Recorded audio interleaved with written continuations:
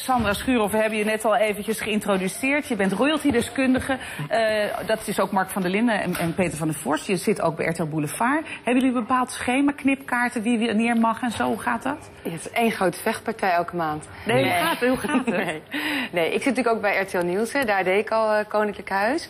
Naast gewone verslaggeving. En Peter van der Vorst is eigenlijk degene die het meeste voor de boulevard eh, het doet. En om een beetje hem af en toe af te wisselen, doen Mark van der Linden en ik eh, zijn erbij gevraagd. Nou hoop je natuurlijk altijd dat dat soort mensen met fantastische nieuwtjes komen. Hoe komen jullie aan die nieuwtjes?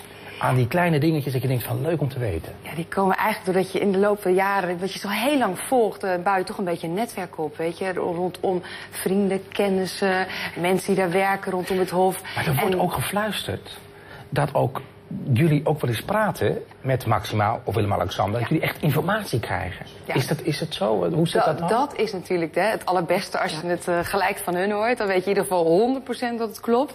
En we hebben af en toe hebben we achtergrondgesprekken met een kleine groep journalisten. Ehm, Hoe gaat zo'n achtergrondgesprek Met, dan? wat is een kleine groep? Hoeveel een kleine groep, nou, tien of zo. Het is niet één op één. Het is Nee, niet dat nee, jij in je nee, eentje nee. met Max en Willem staat. eh, nee.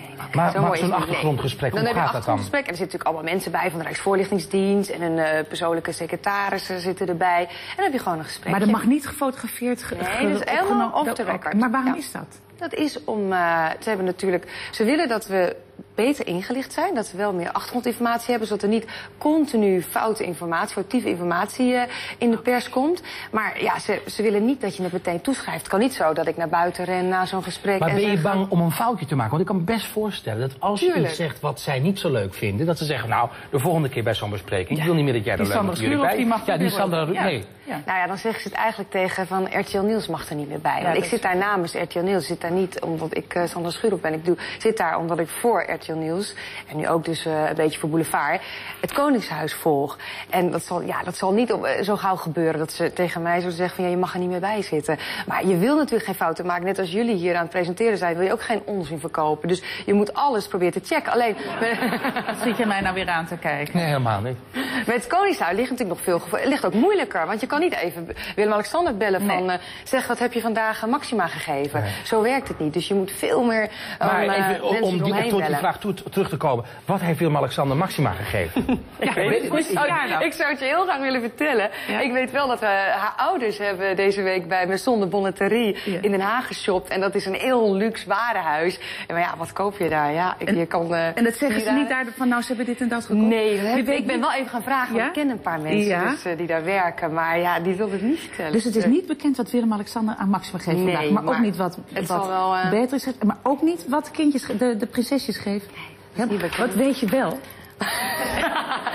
Heel veel dat, ze, dat de ouders er dus zijn. Ja. En dat ze het vieren gewoon eh, op de Horst. Hè. Gewoon thuis. En dat natuurlijk de koningin even langskomt. En Willem-Alexander is net weer terug uit New York. De prinsesjes zijn er. En voor de rest komen er gewoon vrienden en En haar langs. broer, haar broer, komt hij ook langs? Nee, waarschijnlijk niet. Waarom? Wat Nee. heb je dan met die Dat broer? vind ik zo schitterend. Hebben we daar... Ja. Oh, kijk. Martien. Ja, dat Martien. Martien Maar die- daar- heb ik het in. Dat waren Ja. Die foto is van, van Maar- vier, vijf jaar terug. Die heeft Ja. nu geen hamer op zijn hoofd. hoor. het wordt wel-. Nee hoor, hij is echt knapper geworden naarmate hij ouder wordt Vind je volgens hem zo mij. leuk? Ja? Ik vind het wel een verschijning, ja. Ja? Ja, ja, Ja. maar dat mag je gerust Dat is weten. wel een leuke man, hè? Ja. Ja, wat, eh, hoe Maar hij, zit is, hij, is, hij is gelukkig in de liefde. Nou, Ja, met maar wie? zitten dan. Ja, hij heeft eerst, hij heeft eerst getrouwd geweest. En, eh, Ach, het is er zo hoor je dat? Dat is eh, niet goed afgelopen. En nu heeft hij een, eh, weer een eigen Argentijnse vriendin al eh, sinds 2003, geloof ik. En dat gaat wel. eh, Nou goed, heel hij- maar waar nog gaat, geen kinderen? terug naar Maxima, hij is er dus niet.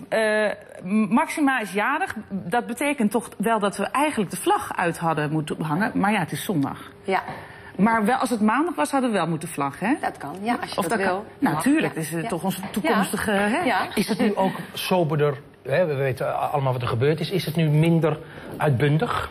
Nou, kijk, ze viert, hoe bedoel je dat? Ze viert het in huiselijke kring. Hè? En ik Ja. denk niet dat ze nou minder vrienden uitnodigt of minder familieleden natuurlijk naar, naar Apeldoorn. Dat, eh, ze heeft wel van de week gezegd van ja, het is wel moeilijk. Toen eh, reikte ze de appeltjes van Oranje uit, een prijs van het Oranjefonds. Zei ze van ja, het is wel heel raar om nu feest te vieren eigenlijk, om iets feestelijks Ja. te doen. Terwijl ik eigenlijk helemaal niet in die stemming ben. Dus alles blij- blijft dan onder, onder huiselijke kring eh, redelijk ingesteld. Ze hebben niet zeg maar een Nee. restaurant waar ze gaan zitten. Nee, of nee. er komt geen taart voor gereden. Het is allemaal allemaal echt vrij Ja, klein ik nu. denk misschien dat Willem-Alexander een eh, taart heeft gebakken. Maar ik denk gewoon dat er een grote taart... eh, Kan over koken gesproken, kan Maxima wel koken? Ja, ze schijnt aardig te kunnen koken. Dat heeft ze heel lang natuurlijk zelf moeten doen. Ja. Toen ze nog geen eh, prinses was. Zulke lappen vlees En, eh, er echt. ja, en pasta's en zo. En, Pasta's, en ja. ze doet het nog steeds wel eens, maar ze heeft niet zoveel tijd. Maar als ze bijvoorbeeld in leg is hè, met de koninklijke familie... dan gaan zij en Laurentien gewoon naar de plaatselijke buurtsuper... gaan ze shoppen en dan flansen ze een pastaatje in elkaar. pastaatje. Maar thuis op de Ja, horst daar heeft hebben we beelden van. Nee, Laten we daar even naar gaan kijken. Hoe die nee, we moeten even door met de korte met de En ze heeft wel, maar thuis heeft ze een, eh, heeft ze een kok. Een kok, ja. En een kennis van mij heeft wel eens gesolliciteerd. eh,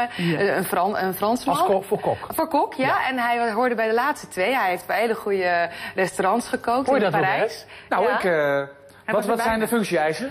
Nou ja, je moet Ik heb heel over- goed kunnen koken, maar dat kun jij volgens Vanaf mij. over twee weken kan ik. Ja? Ja. nou, als er weer sollicitatie is. Ik kan ook heel leuk koken. Nou, eh, het grappige is... Over twee weken kan ik.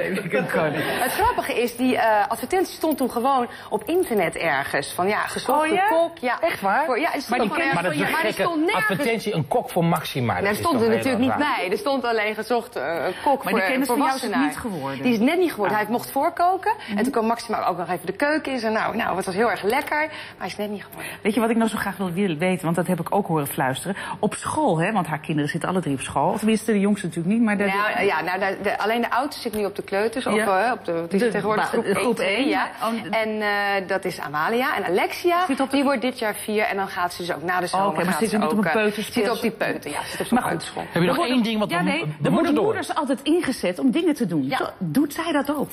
Ja. Maxima ze? is gewoon luistermoeder. Is een luistermoeder? Ze is gewoon overblijfmoeder en ze is voorleesmoeder. ze doet helemaal mee. Chapeau elke Maxima. Is het niet enig?